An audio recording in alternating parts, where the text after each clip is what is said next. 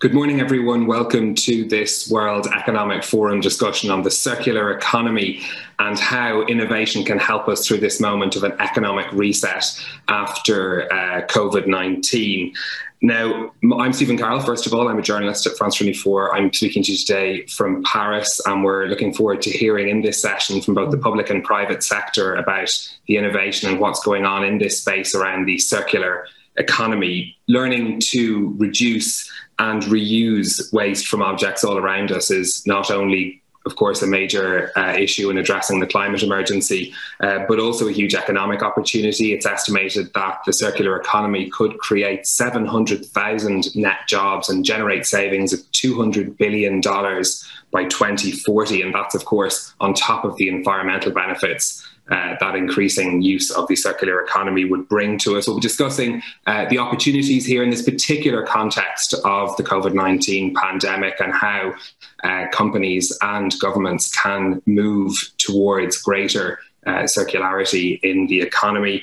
Uh, we'll be speaking to our panel in just a moment. There will be an opportunity for you to join us with your questions via the Zoom chat. We'll get to those a little bit later on. But first, to start off our discussion, we have a short video from the World Economic Forum, which will set us up for those key themes in this area around leadership, uh, value chain transformation, and of course, innovation.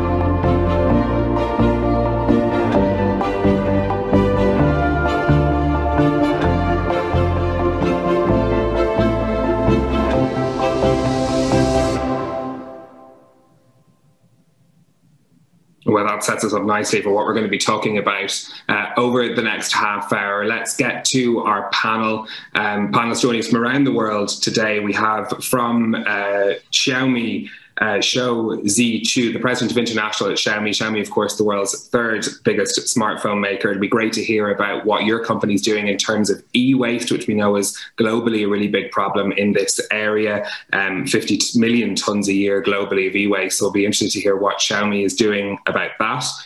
From the Netherlands, we have Environment Minister Stientje van Veldhoven joining us. The Netherlands setting ambitious targets in this area, including to half the use of primary resources by 2030. So we're looking forward to hearing uh, from you about that. Turning next we, to Paris, we have Bertrand Camus, who's the chief executive of Suez. Uh, Suez, a major player in water and waste management around the world, supplying drinking water to over 90 million people. Uh, the company also has a big business in plastics recycling, so we'll be interested to hear uh, more about that and what innovation is coming towards in that area in particular. And from Nigeria, we have Bilikiss Adebiyi Abiola who's the uh, co-founder of WeCyclers, uh, which is a platform that allows people to get their recyclables picked up and then collect points for it, which they can later redeem for cash. So a great example of entrepreneurship in this area of the circular economy as well. Welcome to you all and thank you for being with us today. Um, let's go first to Shou Zi Chew uh, from Xiaomi, uh, joining us today from Beijing. You're, of course, a huge player in the electronics area. This is an area where there is huge potential for circularity. Um, let's let's start with the idea of of how a company like yours in the electronics sector how do you how are you addressing the issue of e-waste and how can you set the scene for us in terms of innovation in this area okay Th- thank you very much stephen and, and thank you very much to everybody for giving us the forum to speak today Uh, just for some context setting, uh, Xiaomi, as Stephen mentioned just now, is the third largest smartphone maker in the world today, and the leading uh, uh consumer IoT company with about 250 million devices connected on our IoT platform already. Uh, we are operational in 90 countries around the world um, and significant in, in, Western Europe in particular. for example, we're the largest smartphone company in Spain, the second largest in Italy, and the third largest in France today. So as, as a truly global company, you know, uh, we, we, want to be a very good uh, local citizen in all the countries in all the countries that we operate in, and we want to make sure that you know, um, first of all, we are very focused and dedicated to to the push uh, to to strengthen our circular uh, economy capabilities and also to be a better corporate citizen. So I think you know the first thing I would like to share is uh, this is not something that sort of uh, you know being done as a, as a project within the company. It's actually set at the very top. Uh, in our last board meeting, uh, sometime at the end of last year, we actually, uh, you know, we actually set a particular board resolution to make sure that we strengthen our CSR core capabilities. So, so this is something that we're taking uh, very seriously and all the way at the very top of the of the company. Uh, in terms of you know what we have done so far, I think the first thing I would like to say is you, you know as a as a company that's involved in the manufacturing space, uh, we won't be able to do this alone. Uh, so the first thing we have done since 2018 uh, has been to encourage uh, and push our core suppliers. There are about 200 of them. We, we do this via you know a, a few different ways, uh, via you know uh, increasing the the requirements that we that we ask of them, and also you know in, in many many forums that we we organize with them uh, we keep repeating that this is something that this is a this is a direction that we want to move towards. Um, in terms of the results, you know, there are a lot of points. I'm just going to pick a few. For example, you know, for our latest uh, flagship that we launched in Europe, uh, we've reduced plastic packaging by 60%. And this year, our target is to reduce by 80%. Uh, uh, in terms of, you know, we've introduced something called green packaging. Uh, so, uh, so you know, the, the box that you get your device in, we, we are we are calling it the one paper box which saves up to about 40% of packaging material. Um, in fact, you know, uh, just as a small fun uh, tidbit, you know, uh, when China was making this big push on garbage classification, uh, we even uh, in, we even uh, implemented this little feature in our in our AI voice UI, so that you can you can more easily find out, you know, what kind of a garbage classification, you know, that your your your the, the, the garbage that you have should be sitting in. So that's you know the direction that we're pushing in. Uh, the other area that we have worked very hard on is to increase after sales maintenance um, efficiency, in particular of the use of resources there. Uh, this is an area that, you know, because it's not at the, always at the front line of the business, uh, frequently it doesn't get the, it doesn't get the uh, attention of the top executives. And as a result, you know, that this is an area of a lot of wastage. So for every device that you buy, you know, there is a, uh, there is a, usually a provision of a lot of replacement parts uh, so we're putting you know significant efforts to make sure that that kind of replacement parts are uh, used in a much more efficient way, uh, so that we can reduce a lot of wastage over there. Uh, so, so these are just sort of, what sort of financial. So I'm sorry to, to, interrupt you, but what sort of financial commitment does that involve from a company like yours to to put these systems in place, um, and and what sort of leadership is necessary in that area to improve that?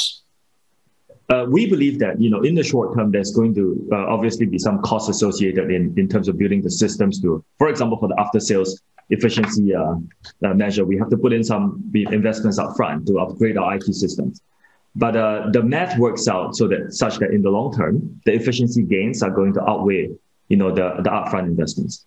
So so from this point of view you know we we, we believe that uh, yeah, we're not only helping the planet this is actually good for our business uh, and of course, you know, our consumers are demanding this. So, so from a demand side, there's a strong push for us to, to invest more, uh, to be a better corporate citizen as well.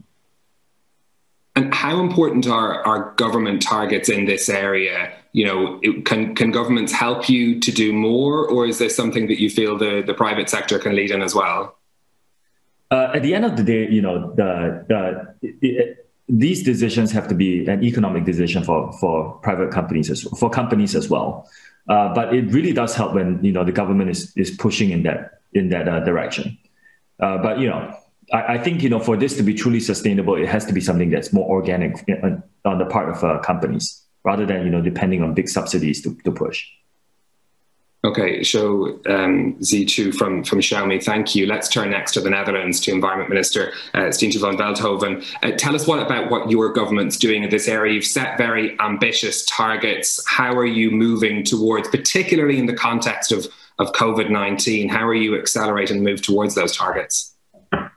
Well, we set uh, ambitious targets indeed. We want to halve our primary use of resources by 2030, and we want to be fully circular by 2050. And I think the first element uh, that was already mentioned here is circular economy is about much more than recycling. Uh, it is also about repair. It is about uh, designing. Uh, it is about longer use. It's about avoiding waste. Um, and if you ask us how are we dealing in this context of, of COVID, uh, it only stresses the need to push further for this because waste is a cost and literally a waste of money. And now, if we are thinking about how to rebuild our economy, we have an opportunity to build our economy in a circular way. We need to recognize the value of the resources that we are using and we have to think about how to keep them in this chain for a longer period. So there's two elements which are really very important and which we work on in the netherlands. That is cross-sectoral collaboration. As Chew just said no one company can do this alone uh, but one company or one sector can have a great impact on the entire chain. If he says, I'm going to change my packaging, he will change uh, an entire supply chain. And so uh, those sectors that are changing are having a spillover effect on other sectors. And the second part is, I think, from the side of governments, we need to become much more aware of how crucial the circular economy is for combating climate change. And we should be uh, willing to, in our in our way to making the circular economy just the regular economy, I think that's what you also said, and I fully concur. There needs to be an economic reality, an economic logic in being circular, but we can influence that economic reality through subsidies in the beginning. But you want to go to a real, um, to, a, to a, let's say, a self-sustaining uh, economy, uh, and thereby also by giving the right price and by setting norms in regulation. And in the Netherlands, we are working on all of these issues across across the entire government. Uh, investing in uh, education, uh, investing in different uh, uh, business models, uh, bringing partners together, and setting norms and standards. And what has been the, the feedback from industry when you've been discussing with them setting these targets and also then meeting these targets? What sort of response have you gotten? Well, actually, we have um, uh, we've gotten very positive feedback because industry largely recognizes this as a very important strategic agenda. Uh, and what we've tried to do is to bring all of the front runners together because those who are already willing to step ahead because of their strategic insight are even more willing to push forward jointly with other partners that do the same. So we've set up a national plastic pact, reducing uh, the use of plastics, redu- uh, increasing the use of secondary materials, etc., etc. We've enlarged this national plastic pact with France, for example, uh, and with Denmark and a lot of other European countries to a European plastic pact, thereby jointly creating a market for the industry to to change for. There is a business opportunity because all of these governments are pushing in that same direction. And then when it comes to regulation, there we really need the cooperation with the European Union that is going to put forward uh, this year uh, a mandatory amount of uh, secondary materials in new plastic products. Uh, and of course, for business, if the same rules go for everybody, then uh, they do not object. No, there even are, are firm supporters in getting this uh, this mandatory requirement off the ground, because then we have a level playing field, which is of strategic importance for all of those companies. Okay, I think I'm glad you touched on the issue of international cooperation on that as well, which I think is is very key to this uh, conversation. Let's go next to Bertrand Camus, who's the chief executive of Suez. Um, Bertrand, you have set big targets in terms of increasing investment and research, 50% by 2023. What sort of impact will you have in terms of the, the circular economy with that sort of investment? What we see is a, is a complete uh, revolution of the way we uh, uh, will manage waste in the future and, also water, uh, which are two core businesses. Uh, if we want to answer uh, the needs that have been very well set out by the by the minister and achieve a real impact in terms of being able to, to recycle and, and reuse uh, uh, secondary uh, raw material. And therefore, this needs a solution, and this is what we are. I would say that's our role uh, to bring uh, solutions to, to, to help that happen. And it's all around innovation and partnering uh, with with, with, the, with the clients. Um, and just to give you a, a, an example to, to illustrate, when we look at at plastic waste management, uh, I think that we have to work at the source uh, to uh, eliminate waste, definitely. this means working with the users of, of plastics as a container. Uh, very interestingly, I will not name a large company that is delivering you uh, products at any time of the day uh, and night, but they bring you more waste than product usually.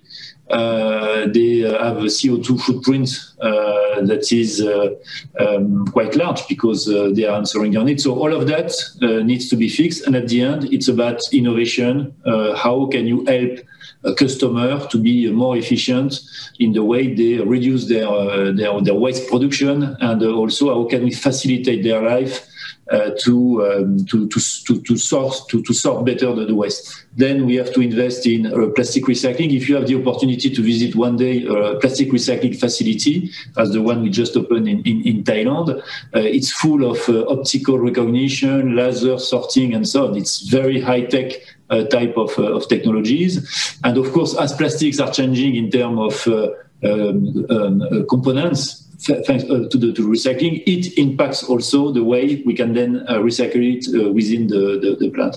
And at the end, you need to have users, usually large corporations, who are going to use those plastics in their own processes.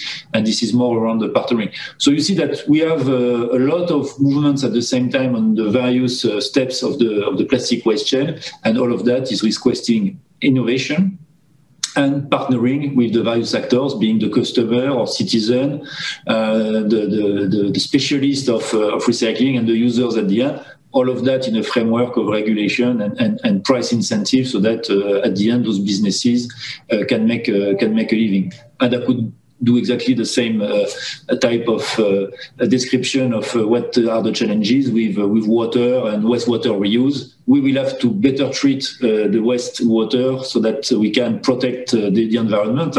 I have the Seine River behind me. If you cannot see it because of the fog, in summertime, in 20 years' time, it will be um, there will be half of the water in summertime, and therefore, if you don't treat better the wastewater, uh, you are going uh, uh, to damage the environment, and therefore you, you need to treat it to a point that it can be reused, and all of that is creating opportunities to go more towards circular economy.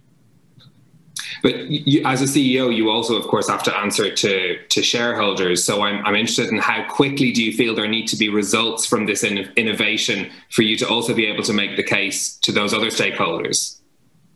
I think that uh, when you look at the, the large, uh, the large corporations or even the large uh, municipalities we are dealing with, today we cannot be only a good uh, producer of drinking water or a good waste collector. We need to be a partner to accelerate their own transition. When you have large corporations like uh, Unilever, Procter, we are part of an alliance to end the, the plastic waste. They are all committed uh, with very uh, strict and stringent uh, targets in terms of uh, improving their, their, their, environmental impact, especially, for example, incorporation of secondary raw material, which is new. Huh? It was not the case a couple of years ago, and therefore they need to have access to this product, and therefore they are ready to partner and, and, and to share, uh, I would say, the, the, the, the, not only the cost, but in the investment to, to make it happen. So I think that things are really changing, changing fast. And if a business like ours wants to be a, a leader as we are today in 10 years' time, we need to be able to bring the solutions that are not only going to uh, improve the reliability of those processes, but bring the cost down, a little bit like what happened with renewable energies, and also answer to the final client's uh, expectations. Because at the end, uh, by taxes uh, or by uh, by by uh, by purchase, they are the one at the end who are paying the total cost of that, and and being able to reduce it and and making it easy for them is one also of our of our goals, and therefore it's clearly something that is is part of our strategic plan, and our investors who are more and more committed to ESG type of uh, uh, approach uh, and, stock are, definitely understanding the necessity to invest a lot in terms of innovation. Okay, Bertrand, thank you. Let's go now to Nigeria to Bilikiss Adebiyi Abiola um, from WeCyclers. Uh, you are you are our example of of your whole business as an innovation in this area of the circular economy. Tell us a bit about getting that started and the consumer response I'm interested to in in in to WeCyclers since you've set it up. Thank you. Um, so WeCyclers started eight years ago as a class project while I was a student at MIT Sloan. Um, and really focused on helping people that live at the base of the pyramid. People live, um, earning less than $2 a day earn value from their waste. Um, it's a social enterprise, and it's really it um, was created to work around um, the la- issues like the lack of infrastructure. So you see that in many cities in the developing world, um, we don't really have good um, navigable roads. Um, so it's really hard for trucks to go in and collect this waste. And so we built an innovative software-powered system that also worked with bicycles, low-cost cargo bicycles, to go around to um, local communities and encourage them to sort their plastics, their papers, metals in exchange for points which they would redeem, um, you know, in ex- for, for, for money. Um, and it's been eight years, and we've been able to create 200 jobs. We've also built 10 franchise businesses, um, and we've, we've been able to show that people can be engaged and be empowered in cleaning up um, their communities. Initially, it was really challenging to convince people to um, because there was a really low awareness, low public awareness on why people need to recycle, why they need to dispose of their waste properly. Um, but over time, when people began to see, you know, that they could actually earn money from, you know, collecting this waste, they could empower themselves with waste. We saw that people, you know, really uh, warmed up to it. We've, we have stories of of mostly women. Um, we have a woman that, um, you know, before she started recycling with WeCyclers, she was earning about 10 to $15 every month. And after working with WeCyclers, she was able to earn, um, you know, about um, 10, 20 times that, you know, in a few months. So this, these are real stories of real people that can turn their lives around just by, um, you know, being engaged in recycling. Um, so we, we, we, we've seen that there's so many challenges, you know, that we face um, as, a, as an innovative business. You know, it's a new business in a developing um, economy. And one of the big issues that we faced is funding. You know, it's difficult to raise money. Um, even philanthropic investors, social, social impact investors, they, are, they have a very high bar. So over, over time, we've had to, you know, bootstrap our way into building this business. So that's you know one big issue that we have is funding, finding the funding. Another big issue is um, you know absence of you know clear policy environment where people will be mandated to recycle. So it wouldn't be just by choice. It wouldn't be recyclers having to go to each and every home to tell them what to do. It will be a concerted effort you know, pushed by the government to educate and mandate people to recycle. So I think if we can do that, that would be a really big um, solution, um, you know, to, to this problem. That's interesting because I think the issue of scale up is very, very kind of key to this discussion as well. Are, are those, as you see them, funding and and regulation? Are those the two things that'll help scale up in this area? Those are just two of many. I think another big one is for the, the companies that make this packaging to be more thoughtful, to be more, you know, to be more um, thoughtful about what kind of packaging they are pumping out into the world. You know, at WeCyclers, we collect all kinds of packaging, and there's some packaging that we collect that cannot be recycled. Um, so there are many companies now going for, you know, because of costs, because they're trying to penetrate this market, there's, um, um, you know, people that have lower disposable income, they have to, you know, they, so they have to put more thought into the kind of packaging that they are producing. They have to think about how is this packaging going to be collected? So their responsibility should not end at the supermarket shelf. It should be a circular chain where they will be responsible for ensuring that the waste that they send out is brought back. Because this waste, even if they don't realize it, is a problem for everyone. The, the um, coronavirus pandemic has shown us that the world is connected. So even if, um, you know, Lagos, for instance, is one of the top 10 polluters of the ocean. So if you don't um, try to solve this problem, it's going to be everybody's problem.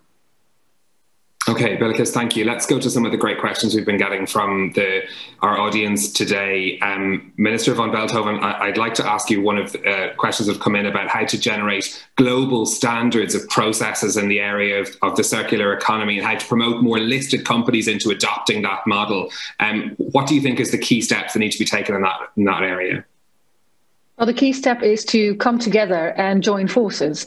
Uh, and there is a great, great platform, the platform for the acceleration of the circular economy, PACE, uh, that is working already with over 100 organizations across sectors uh, to build four action agendas.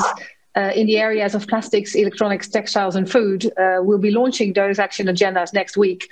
Um, and I think they, they highlight the key elements that we all need to work on and how we can collaborate on this to make this transition a reality if we join forces, we can not only go further, but we can also go faster.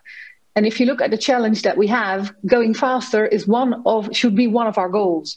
So uh, for all those companies that are looking for ways to how to make that change, how to get to those standards, join forces, for example, within the PACE action agendas, uh, and let's make sure that we don't wait for the world governments to set all of our standards, but let's join forces between those governments that are willing to push forward, but also between gov- between companies that are willing to make that change, that see that strategic agenda, and let's let's jointly make sure that we make it easier by combining our forces uh, and aligning our efforts. Thank you. Um, Shou a question I, am going to put to you. It was a question to all of the panel, but this idea of carbon transparency. Uh, do you have any plans to introduce carbon transparency for goods? Is that something that you would see that would be workable? For example, through the, the example given by our questioner is through a digital product passport to help encourage the circular economy. Is that something that you think that could be done? I think it's a very interesting idea. And uh, it definitely, we, we, we, by the way, saw the note inviting more companies to make net zero commitments uh, by November this year, I believe. And uh, this is something that we have had internal discussions for quite some time now. Uh, the key to becoming a you know net uh, net zero is to first figure out exactly how much carbon is involved. So you know I think that I think that having some sort of standards, particularly by perhaps the auditors, just like you know the the general accounting principles, could be something that's very useful because uh, then we are talking about the same thing. Uh, so, so for us as companies, you know, I, I think I think uh, we are very welcoming of this. Uh, clearly, it's going to be a very significant endeavor by anyone who takes up this this mantle, but uh, you know, very welcoming, and I think it's a great idea. Okay, um, Bilquis, a question I'm going to put to you about uh, partners in developing and emerging economies who don't see circular recycling uh, as their strategic agenda yet. Do you think that there'll be pushback from organisations or countries in that area that haven't really realised the potential of the circular economy? Yeah, absolutely. I think it's happening now. Um, people are waking up to see that it's imp- circular economy is important, and so they are asking and requiring um, companies to be more responsible. Um, I think I'm, I'm encouraged, um, you know, by initiatives uh, that are coming up. Um, I just um, heard that the World Economic Forum is um, announcing one today in Nigeria on the Global Plastic Action Partnership. So I think that kind of those kind of initiatives will ensure that a, it will, be, will, provide a platform for companies to, because I think one of the major issues is that there is no accountability um, and also, many of these um, companies may not have the resources or the knowledge um, to do what is required of them. So I think having these kinds of platform where they know and they have, you know, steps, easy steps that they can follow is, is, um, is great. Um, we've also um, launched a, an NGO called the Fair Plastic Alliance that is focused on strengthening the value chain and making it more circular. So I think those kinds of, of initiatives will definitely help. Okay, Bilikiss, thank you. Bertrand Camus, a quick question for you, if you don't mind. This is from uh, uh, the idea of a new company and the issue of supply chain. Are there early steps that new companies can take to make sure they're doing the most in terms of the circular economy? Oh, definitely. I think that, and it's uh, very often the case with uh, uh, complex systems. Uh, it's much more difficult to restructure and uh, and, and reset or re-engineer processes than uh, starting right right right from from the beginning. And for that, I mean, companies like ours are, are, are used to to partner with with corporations to uh, work with them from the beginning with the right setup, at least with the technologies we master today. And hopefully it will, it will also change in the future, but to start with uh, really the latest technologies, the latest way of uh, engineering uh, processes uh, uh, so that they can be ready uh, to have that included in the way they, they, operate. For example, we have partnership with uh, car manufacturers uh, worldwide, also Airbus, to work with them on how they produce the planes and how can we facilitate dismantling and recycling. So I think that we the, the, the, sooner it is put in place in the, the setup of a company, the, the better it is, definitely. Okay, Bertrand, thank you for that. That brings us to the end of part one